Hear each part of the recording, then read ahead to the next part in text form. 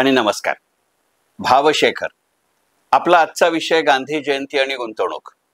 गांधी जयंती आणि गुंतवणूक असा विषय एकत्र घ्यायचा अगदी मोकळेपणाने कारण सांगतो की दोन ऑक्टोबरला आपल्याकडे लालबहादूर शास्त्री आणि महात्मा गांधी या दोघांची ही जयंती असते. त्या दिवशी काय कारण माहिती नाही परंतु लालबहादूर शास्त्रींची फारशी चर्चा होत नाही पण महात्मा गांधींच्या ज जयंतीची मात्र वारंवार चर्चा होत असते. अगदी सरकारी पातळीवरतीही आणि सरकार बाहेरच्या पातळीवरतीही. आणि तसं गांधीजी पेशानं वकील असले तरी गांधीजी आणि गुंतवणूक क्षेत्र याचा एकत्र विचार करण्याची पद्धत आजपर्यंत तरी आपल्या देशामध्ये फारशी नाही.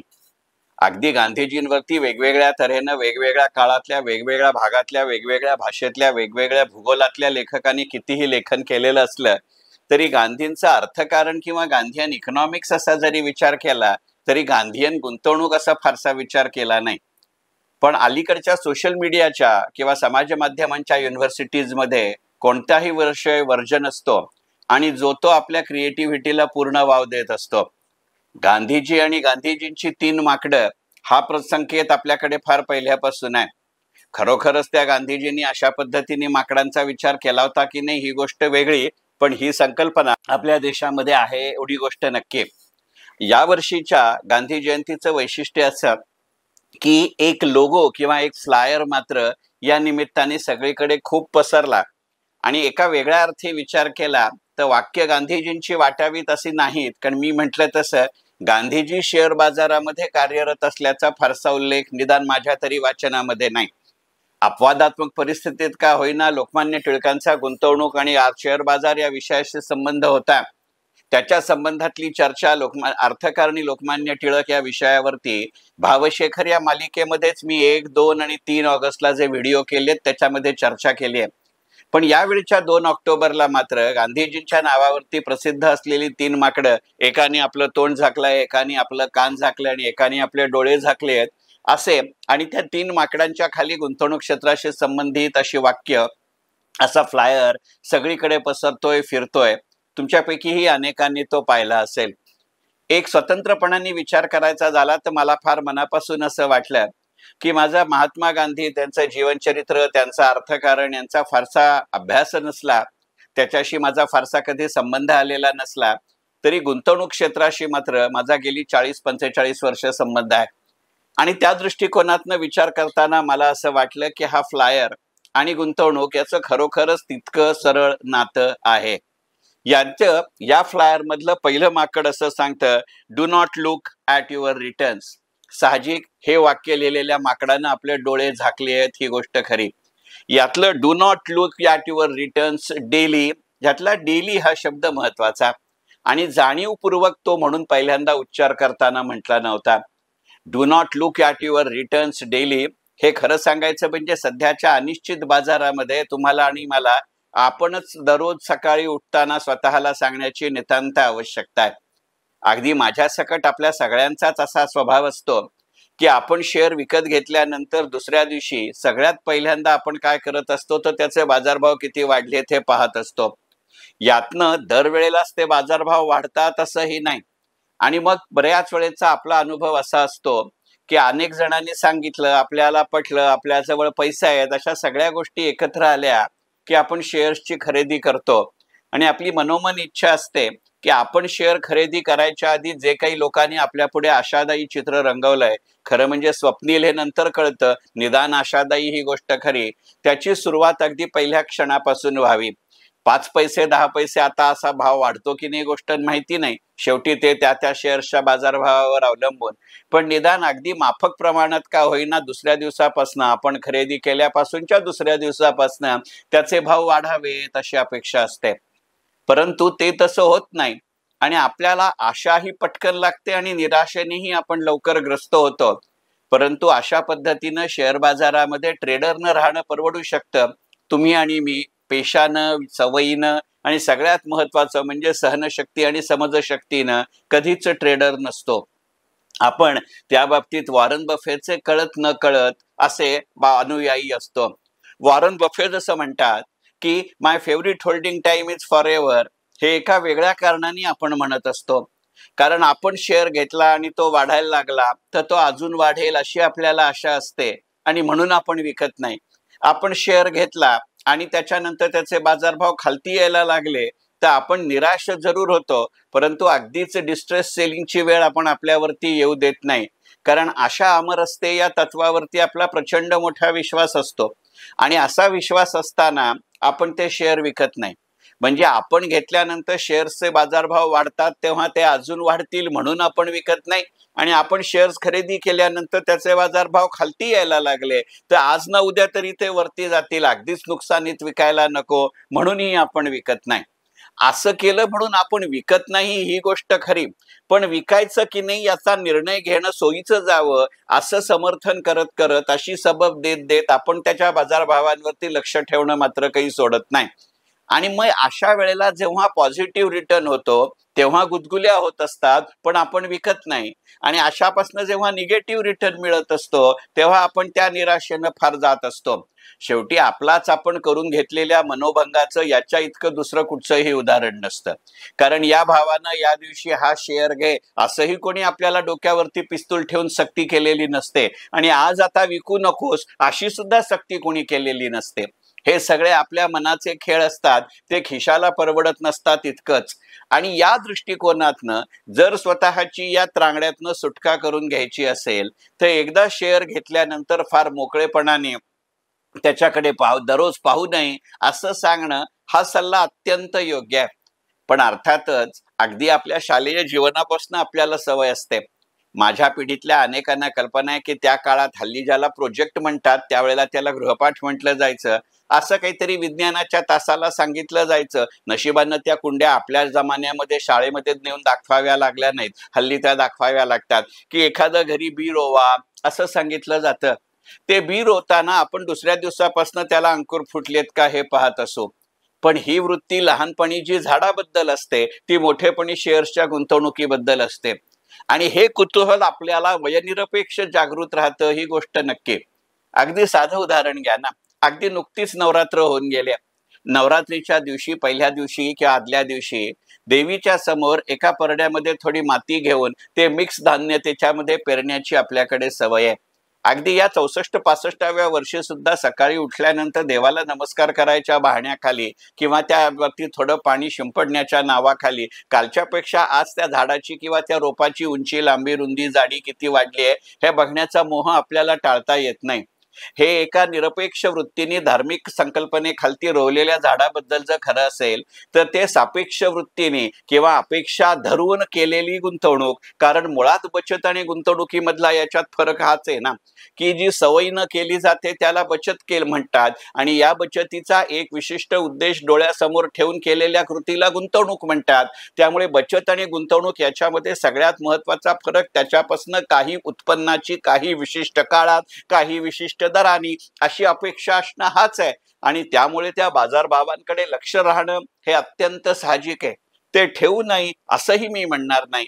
परंतु या फ्लायरच्या माध्यमातनं ज्या कोणी तो बनवला असेल तो असं सांगू इच्छितो की बाजारभावाकडे लक्ष ठेवणं हे एक वेळ समजण्याजोग आहे. पण त्यातनं त्याच्या त्या वेळेला दररोज आपण रेट ऑफ रिटर्न कॅल्क्युलेट करत राहणं आणि त्यातनं स्वतःच दुःखी होणं याला काही अर्थ नसतो.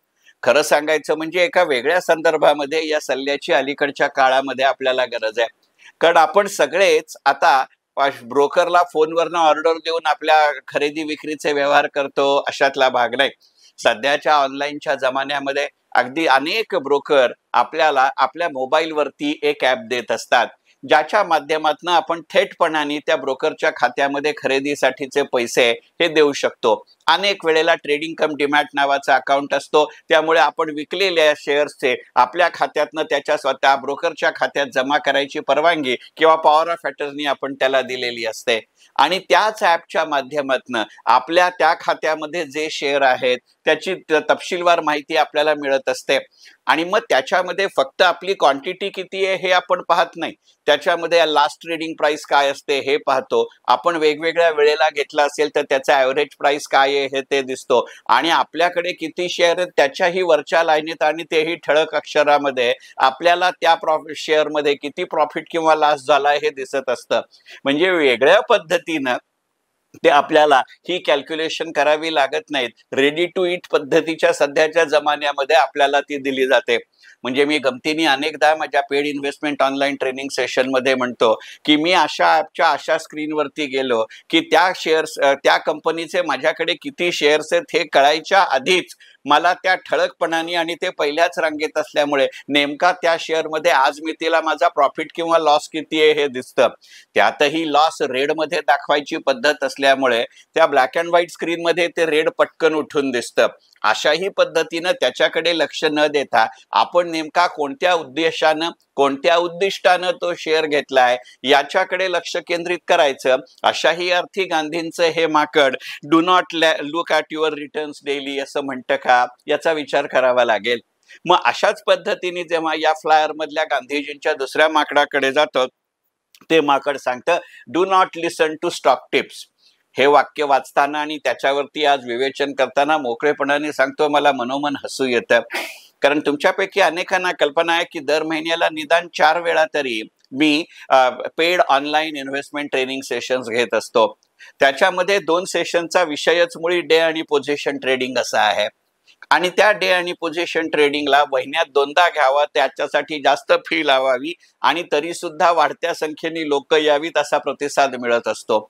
त्याचं एक कारण कदाचित असं असेल की गेल्या तीन साडेतीन वर्षामध्ये मी जवळजवळ एकशे सत्तर एकशे पंच्याहत्तर स्टॉक्सच्या शेअर्सच्या सजेशन्स दिल्या टिप्स दिल्या असं म्हणता येणार नाही. पण त्या एकशे सत्तर एकशे पंच्याहत्तरच्या एकूण एक स्क्रिप्टला मी म्हणत होतो त्याप्रमाणे लोकांना फायदा झाला. आणि त्यामुळे हे पुढचं वाक्य मी बोलण्याचा मला नैतिक अधिकार आहे की नाही मला माहिती नाही. परंतु गांधीजींचं त्या फ्लायर मधलं माकड असं सांगतं की do not listen to the tips साहजिक या माकडानं आपले कानावरती हात ठेवले आहेत. पण do not listen to the tips याचा अर्थ असा असतो की मुळातच आपण एखादी टीप ऐकण्याला बघण्याला जरूर काही हरकत नसते. कारण शेवटी आपला कोणताही गुंतवणुकीचा निर्णय हा माहितीच्या आधारावरती घेतलेला असला पाहिजे. म्हणजे ज्याला इन्फॉर्मेशन बेस्ड इन्व्हेस्टमेंट डिसिजन्स असं म्हटलं जातं. त्या दृष्टिकोनातनं याच्याकडे पाहावं लागतं. पण मुळात ही टीप देणारी ह्या माहिती देणारी संदर्भ किंवा ती व्यक्ती किंवा ती संस्था किती विश्वासार्ह आहे याचाही आपल्याला विचार करावा लागतो. समाज माध्यम आणि गुंतवणूक या विषयावर भावशेखर मध्येच या मालिकेमध्येच आपण नुकताच एक भाग केलाय. त्यामुळे त्या विषयाची मी पुनरावृत्ती करत नाही. पण अनेकदा असं लक्षात येतं विशेषतः इलेक्ट्रॉनिक मीडियाच्या माध्यमातून जे सल्ले आपल्याला दिले जातात त्यावेळेला असं लक्षात येतं की त्यांनी एखादा शेअर विकत घ्या असं म्हणलं आणि आपण शेअर विकत घेतला की त्या शेअर्सचे बाजारभाव खालीले असतात खालती आलेले असतात. आणि आपल्या विक्रीच्या बाबतीत मात्र बरोबर उलट होतं. मग कदाचित त्यांना विकायचं असतं म्हणून आपण खरेदी करा असा सल्ला दिला जातो का? किंवा त्यांना खरेदी करायची असते म्हणून आपण विका असा सल्ला दिला जातो का? याचाही विचार केला पाहिजे. म्हणजे म्युच्युअल फंडच्या बाबतीत आपण कितीही म्हटलं की past performance is not a guarantee for the future आणि तेही अशा टिप्सना जरी लागू पडत असलं तरी past performance is certainly a factor to be considered while taking a current investment decisions हेही तितकंच सत्य असतं. अशा मर्यादित अर्थाने तरी do not listen to the tips असा विचार या गुंतवणुकीच्या निमित्तानं केलाच पाहिजे. याविषयी आपल्या कुणाच्याही मनामध्ये शंका असण्याचं कारण नाही. आणि या फ्लायर मधलं तिसरं जे माकड आहे त्याने आपल्या तोंडावरती हात ठेवलाय स्वतःच्या. आणि तो असं म्हणतो की do not say I can time the market ही गोष्ट नितांत सत्य. टाइम द मार्केट हा एक विषयच असा आहे की ज्याच्यावरती तास दीड तास सहजपणाने बोलता येईल. परंतु भावशेखरच्या या व्हिडिओला आपण स्वतःच घालून घेतलेली बंधन आहेत. आणि याच्याबद्दलचं सविस्तर विवेचन माझ्या गुंतवणूक पंचायतन या पुस्तकामध्ये केलंय. तुमच्यापैकी अनेकांना कल्पना आहे की राजहंस प्रकाशनानं प्रकाशित केलेल्या माझ्या गुंतवणूक पंचायतन या पुस्तकाची सध्या पंधरावी आवृत्ती सुरू आहे. त्याच्यामध्ये Benjamin Graham John Templeton Warren Buffett George Soros आणि पीटर लिंच या जगप्रसिद्ध पाच गुंतवणूकदारांच्या गुंतवणूक पद्धती आणि त्याची भारतीय वातावरणातली उपयुक्तता याची अनेक उदाहरणांसहित मी चर्चा केली आहे. ज्या अर्थी ह्या पुस्तकाची सध्या पंधरावी आवृत्ती सुरू आहे त्या अर्थी हे पुस्तक चांगलं लिहिलं गेलं असावं असं म्हणायला हरकत नाही. आणि हे टिप देणं नाही एवढं नक्की. त्यामुळे आधीच्या दोन माकडांच्या कचाट्यामध्ये मी सापडत नाही अशी मी स्वतःची समजूत करून घेतो. Do not do not say that I can time the market याचा एक खरा अर्थ असा आहे की मुळातच बाजार हा अनिश्चिततेचा खेळ आहे. आणि मी म्हणतो तसं एक गोष्ट पायाभूतपणानं या बाजाराविषयी लक्षात ठेवावी लागते की दिल्या घटनेला दिल्या शेअरकडे दिल्या भावाच्या दृष्टिकोनातनं बघणारे निदान दोन वेगवेगळे दृष्टिकोन असू शकतात. आणि ते दोन वेगवेगळे दृष्टिकोन असू शकतात म्हणूनच आपल्याला खरेदी विक्रीचे व्यवहार करता येतात.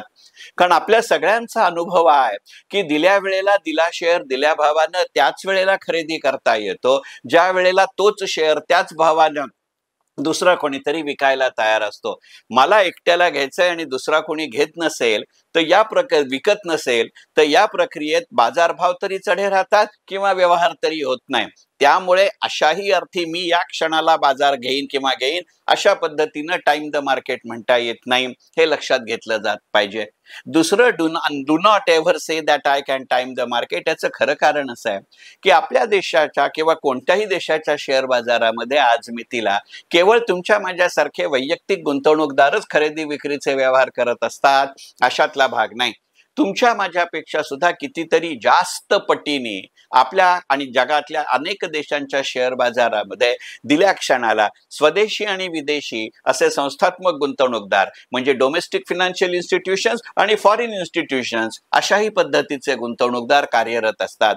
त्यांचा आवेग त्यांचा आवेग त्यांचा प्रभाव त्यांचा आकारमान खरेदी विक्रीचं एवढं मोठं असतं की आपले सगळे व्यवहार झाकाळून जातात. आणि आजपर्यंतचा बाजाराचा अनुभव असा आहे की ज्या वेळेला गुंतवणूकदार असे सक्रिय होतात त्यावेळेला बाजारभावांमध्ये वादळी बदल होतात. आणि ते तुम्हाला आणि मला एकवीस तासाची आगाऊ नोटीस देऊन अशा पद्धतीचे व्यवहार करत नसतात. त्यामुळे माझी वेळ चुकू शकते हाही एक संदर्भ आहे.